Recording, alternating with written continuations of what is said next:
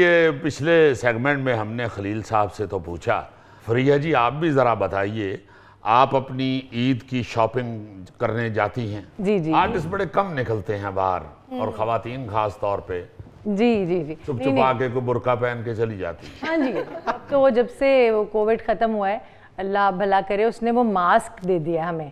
वाह। तो वो वरना नकाब लब्बो तो पता नहीं क्या क्या चीज़ मुझे मास्क का भी फ़ायदा नहीं हुआ।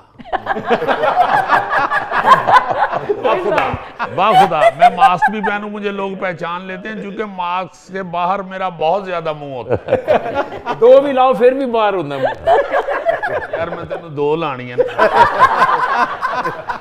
अच्छा आप जाती हैं शॉपिंग के लिए? जी जी। बिल्कुल बिल्कुल मैं जाती हूँ। मेरी खैर वालदा का इंतकाल हो गया जी। अम्मा बड़ी अ, बहुत ज़्यादा लाइवली थी। तो वो हमेशा मेहंदी लगानी ज़रूर और नया कपड़े ज़रूर पहनने। एक वो कभी वो नहीं था माहौल के मैं तो ईद नू तो छुट्टी होती है तो इसी सुते रहने मेरा वो कभी भी वो टाइप नहीं था। करे निकलते हैं अपना ज़रूर एक जोड़ा अच्छा सा ज़रूर एक नया जोड़ा होना चाहिए क्योंकि तो ईद का दिन प्यारा दिन है। साल बाद आ रहा है। बिल्कुल हाँ जी। और वाकई आप देखिए ना कि ये हालत हो गई है हमारी कि ईद हम सो के गुजार देते हैं और ये हम फिर बताते भी हैं। ये नहुसत का मंजर हम खुद बताते भी हैं।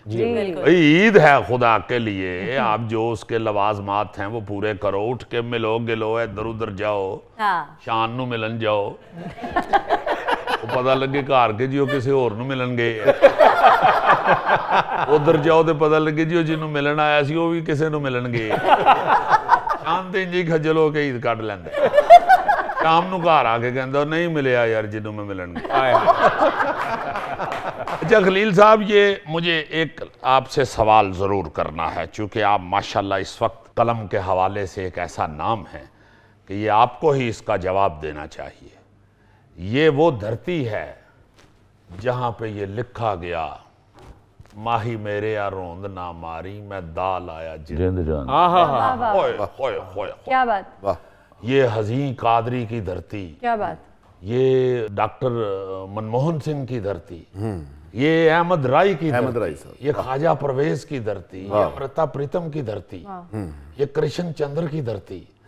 ये डॉक्टर फकीर मोहम्मद की धरती। पंजाब के हवाले से इतनी वसत है पंजाबी ज़ुबान के हवाले से। और इस वक्त आप देखें जो पंजाबी फ़िल्म बन रही है हमारे हमसाया मुल्क में। जी जी।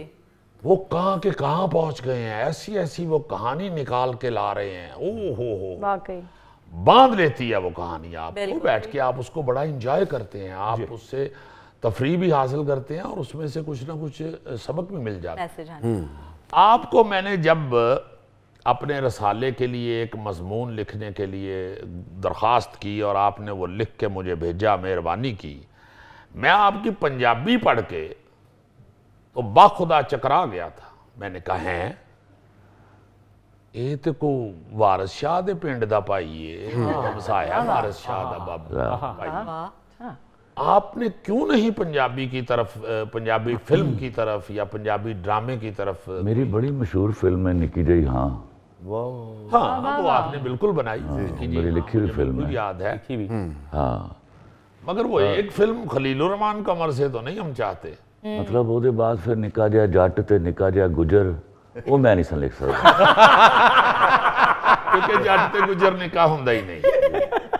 नहीं पर मेरा मतलब है कि आपके तो माशाल्लाह वैरायटी है बड़ी ड्रामों में हर वैरायटी देखिए मैं सुहेल आपने तो मुझसे ज़्यादा इंडस्ट्री को देखा मैं आया था आ, किसी और तरह से कि I was a producer and writer तो मैंने आके देखा कि यहाँ जिसके ईमा पर ये काम हो रहा है वो सबसे ज़्यादा रसवा है और वो राइटर है। तो उस दिन मैंने दे- सोचा कि मैंने ना इनकी तो बाँ बाँ बोलेगी अनटिल आई एम हियर वरना तो मैं छोड़ के चला जाऊँगा। तो सब बहुत ज़रूरी था राइटर की रिस्पेक्ट करवानी। वो राइटर की रिस्पेक्ट कैसे होती थी? ना करके।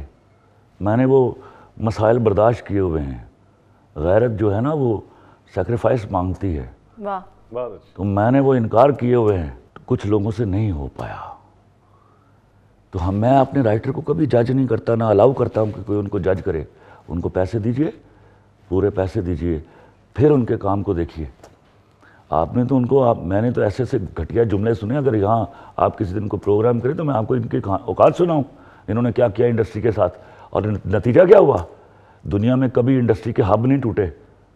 लाहौर हब है, टूट गया। हाँ। ये गैर फितरी फेल है। तो ये उनको सल्यूट है ये चढ़दा पंजाब वालों को। उन्होंने पंजाबी ज़बान को ज़िंदा रखा है। हम्म, बहुत बड़ी बात। और हमें पंजाबी तो पंजाबी आप तो उर्दू बोलते हुए शर्म आती है आपको। और अंग्रेज़ी ने जो तो किसी नहीं आती हम्म। नहीं तो किसी बुलाया जाए बिठा के मैंने मेरे नाल ना वो भी कोई किसी दिन मुजाकरा हो जाए हम्म। खलील साहब मुझे माफ़ी दे दीजिएगा मैं आपको आपका पीछा नहीं छोड़ूँगा। जी जी। आपको लिखना चाहिए पंजाबी के लिए। आपको फ़िल्म ज़रूर कोई ना देखें आप वो राइटर हैं जिसके पीछे तो प्रोड्यूसर मिन्नतें करते फिरते हैं। बिल्कुल। आप वो राइटर हैं। नो डाउट तो आप बात तो बिल्कुल ठीक कर रहे हैं। मैं हजीन कादरी साहब को ढूँढने निकल पड़ा कि यार ये क्या शख्स है क्या जुमला लिखता है क्या मिसरा लिखता है। तो मैंने जी ढूंढते ढूंढते बारी स्टूडियो मुझे किसी ने बताया उधर बैठे हुए हैं ऊपर गया बरामदा। आज तक मुझे याद है तकरीबन फटे हुए फ्लीट बूट पुराना सा एक शलवार कमीज। ऊपर मेरा ख्याल है कोई लंडे की ऊन की टोपी थी और एक आँख उनकी खराब थी और वो मफलर सा लेके तो ऐसे। यस मैं जाके सामने उनके पाँव में बैठ गया उनके पैर पकड़ के तो मुझे ऐसे देख के ना तो ऐसे हुए।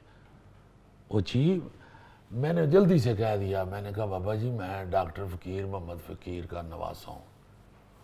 वो तेरा पला हो जाए ओके ओट, पोट पोट पोट। तो दो तीन बातों के बाद वो रोने लग गए, रोने लग गए।